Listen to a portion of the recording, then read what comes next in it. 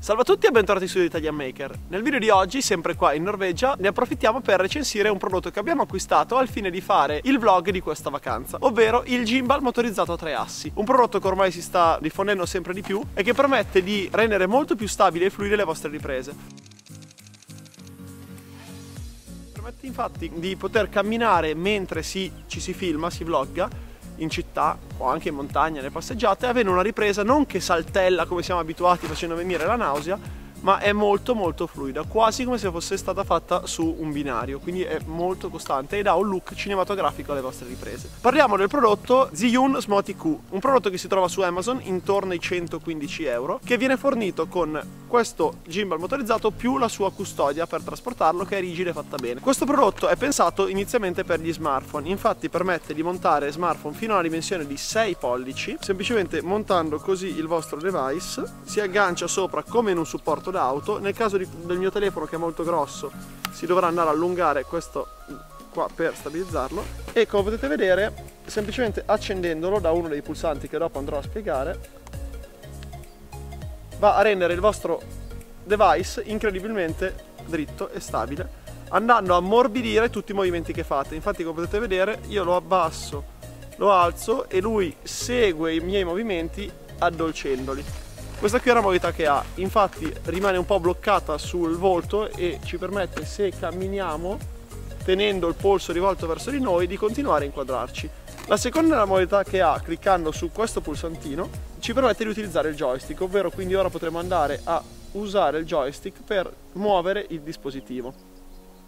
Molto comodo ad esempio se lo montiamo sul cavalletto, che è possibile grazie all'attacco della vita inferiore, andare a fare una ripresa di un paesaggio in modo molto fluido, come potete vedere, la rotazione più stabile rispetto alla nostra mano che non sarà mai costante nei movimenti.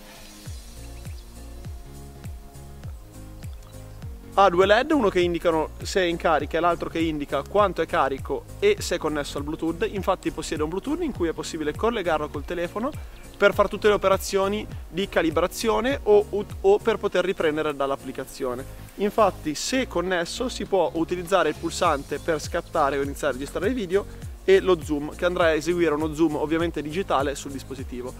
Non consigliamo di utilizzare l'app perché la ripresa non è al livello di qualità dell'applicazione della fotocamera del vostro telefono. Quindi consigliamo di non collegarlo con Bluetooth anche così risparmia batteria. Batteria che dovrebbe durare circa un 10-12 ore e che è possibile ricaricare da qua. E tra l'altro è possibile utilizzare come power bank attraverso la porta qui, quindi potete ricaricare il vostro device mentre filmate. Questo prodotto è il concorrente del DJI Osmo Mobile che però costa quasi il doppio, quindi se volete risparmiare qualcosina rispetto al DJI è un ottimo prodotto. Presente inoltre anche la modalità verticale, molto utile per chi utilizza molto Instagram perché infatti basta allentare questa vite che trovate sul retro per poter ruotare il device si gira, si stringe di nuovo e ora si può montare il telefono in modalità verticale. In questo modo, specialmente se lo utilizzate per Instagram, potete andare in giro, filmarvi con il telefono in modalità verticale, come potete vedere. Questo prodotto si può utilizzare anche con la GoPro, non è stato pensato per la GoPro quindi di default non ci sta in questo eh, slitta bisogna comprare un accessorio a parte che è questo qui.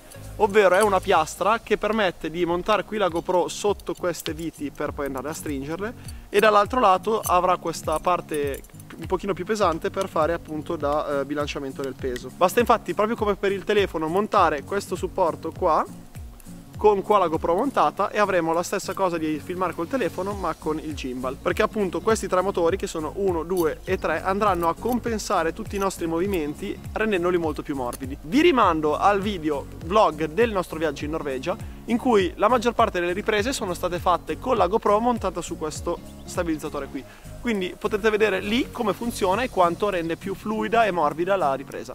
Per questa recensione del Ziyun Smoti Q è tutto, un saluto dall'Italian Maker.